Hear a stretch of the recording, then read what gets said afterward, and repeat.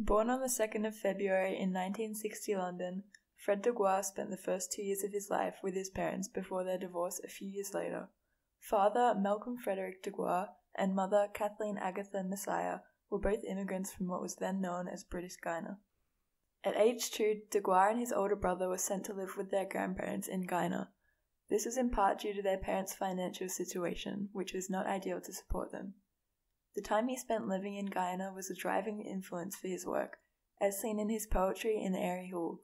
D'Aguiar looks at the post colonial history of Guyana, as well as detailing his own familiarities and experience living there. D'Aguiar lived there for a total of 10 years, from 1962 to 1972, before returning to Britain at age 12. Growing up in Guyana during the 60s meant he was exposed to many instances of racial and political adversity, making this a key influence for many of his works, including British Subjects and Dear Future. His grandmother was also a driving influence for his work, as is evident in his first published piece, Mama Dot, a collection of poetry which centers around an archetypal and metaphorical grandmother figure who is in touch with her past in Africa. D'Aguiar also took African and Caribbean studies at the University of Kent. This education clearly paid off as the influence of his knowledge of this topic is very clearly prominent in his writing, especially when detailing the roles of slaves and slaveholders in The Longest Memory. Whilst it wasn't his first published piece, The Longest Memory was his first published novella.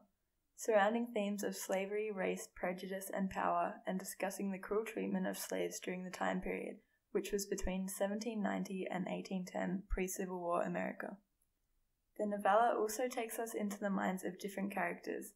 D'Aguiar does this by including a chain of voices, a literary technique which presents each character's different opinions and thus brings forth their different points of view, allowing readers to assess every side of the story. D'Aguiar also uses different styles of writing to capture the personalities of each character.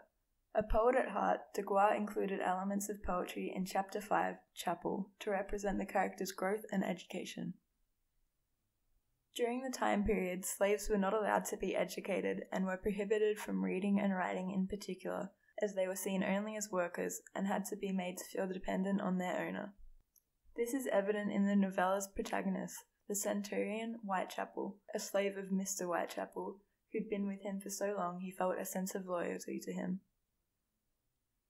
As well as this, the difference in generation and life experience between the two characters is seen evidently throughout the text, with quotes such as this one from Chapel's point of view Thinks freedom is death, thinks paradise is afterlife.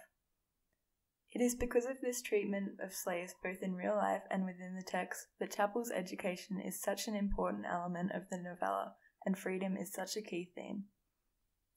The forbidden friendship and eventual love between Lydia and Chapel is also a key illustration of this, as not only does Lydia, Mr. Whitechapel's daughter, educate Chapel, but she also falls in love with him, both things that were heavily frowned upon at the time.